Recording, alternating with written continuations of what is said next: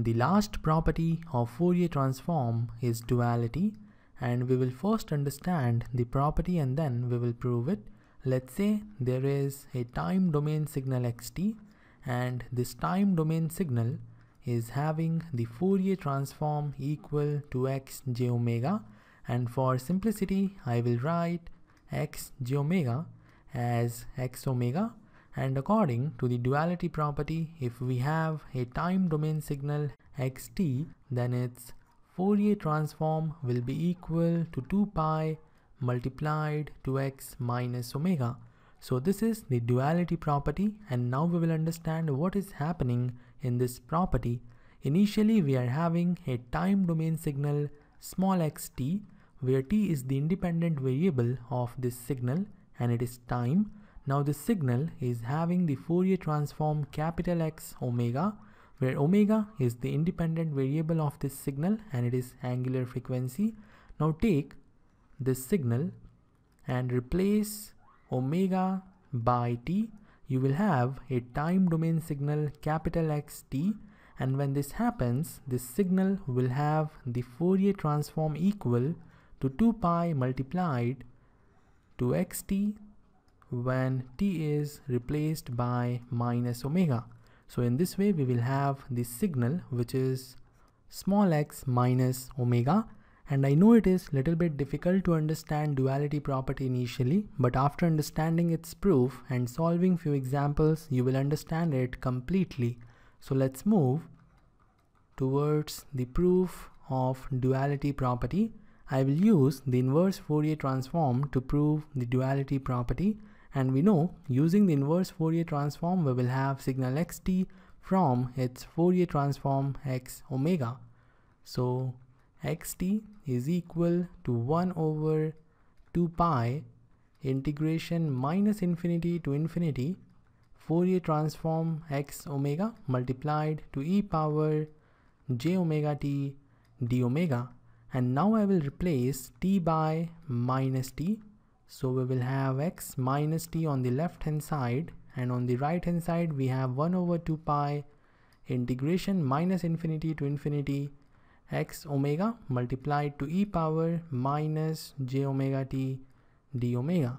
After this we will multiply 2 pi on both the sides. So we have 2 pi x minus t on the left hand side and after multiplying 2 pi on the right hand side this 2 pi and 2 pi will cancel out. So finally we are having 2 pi x minus t on the left hand side and on the right hand side we have integration minus infinity to infinity.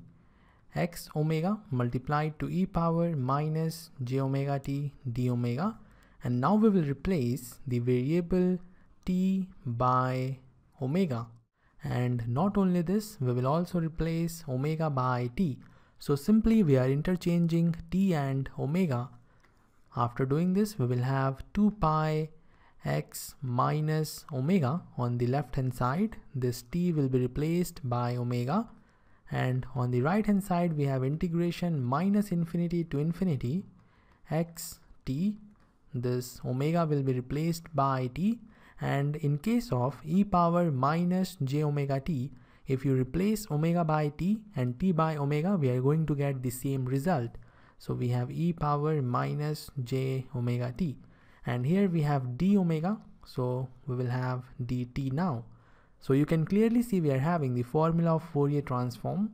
This is the formula of Fourier transform.